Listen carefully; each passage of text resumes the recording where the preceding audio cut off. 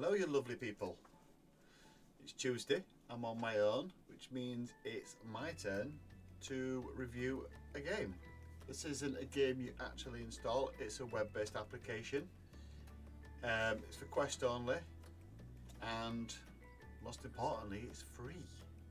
So it is um, Tower Max VR.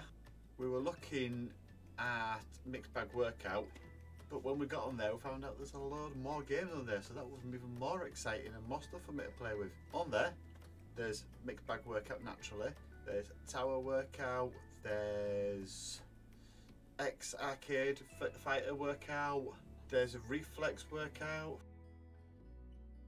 I'll start off with the Mixed Bag Workout as that's the one I initially started playing.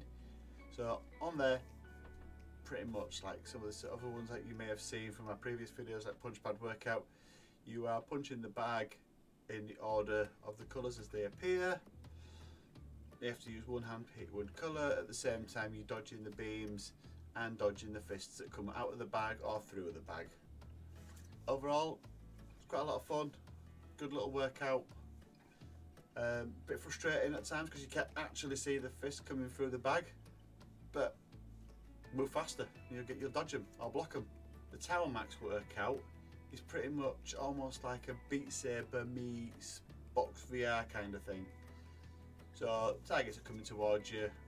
At the same time as targets appearing in front of you, you have to hit them in the order that they appear. And again, dodging the beams, dodging the fists, can block and parry. Basically. What's interesting about this one is there's a little treadmill on your feet. So in between, you can jog keep that heart rate up and, and keep going. It's good little added extra, I like that. X Arcade Fighter, I thought was absolutely bloody genius. You are fighting, you're moving backwards and forwards as your little characters, like a side-scrolling Street Fighter, Double Dragon, Golden Axe, for those of you old enough to remember it, style game. And as you're punching, your character's punching, jumping, ducking. Your character can kick, I only made it do one kick, I don't even know how I did it. And according to instructions, you can do some sort of Hadouken, so you probably see a lot of the video of me trying to do it, but nothing ever happened. So someone please tell me how you do that. There's a drill track, which was interesting, especially when you've got a limited play space like we do. So you running backwards and forwards, sometimes you can run, get a question, run back with the answer. You can do a slalom style dodging, you can catch a giant skittle. It's, I can see why, but for that one you definitely need a bit of room to do it. It's not the sort of thing I could have played in the garden with the torrential rain we've been having recently. Little will probably moan at me for ruining the headset. And last but not least is the reactions one. So pretty much like the mixed bag workout, things appear, hit them as fast as you can. It's not as fun as bit slap, but it's fun. For those of you who've seen our videos before, you know we like to stick to the five criterias. So firstly, did it get my heart rate over 120 BPM? Yes, it did in at the Tower Max workout. That one definitely did. I couldn't do the relay running, so that kind of a distraction. The reactions as well slowed me down. But that and the mixed bag workout definitely got my heart rate up. Is the longevity to this game?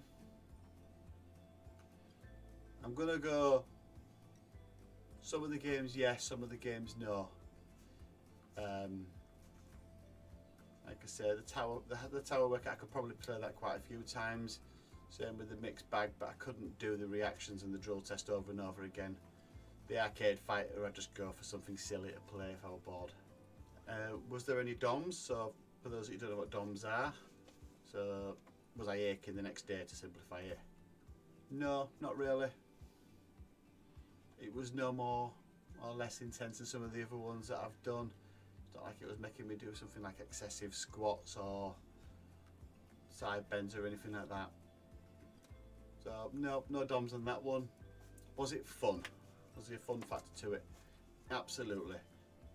I was giggling to myself loads while I was playing things like the X Fighter and when the fists were coming through and I wasn't managing to block them. So I quite enjoyed that and use it as more of a challenge. So I think there's definitely a fun factor to it. And lastly, price. It's free. So what more can you want? A free web-based game that you can just log on and play. brilliant ideas. Graphics are limited, but what do you expect? Other than that, it's fun. Give it a go. Overall, as I've alluded to, as I've been, as I've been gibbering away at you, it's definitely worth a try. It's something I'll probably go back to again. I've enjoyed it a lot more than some of the actual fitness focused games. Like I said, it's free. What have you got to lose? So that's me for now. Um, little next week. And until then, take care.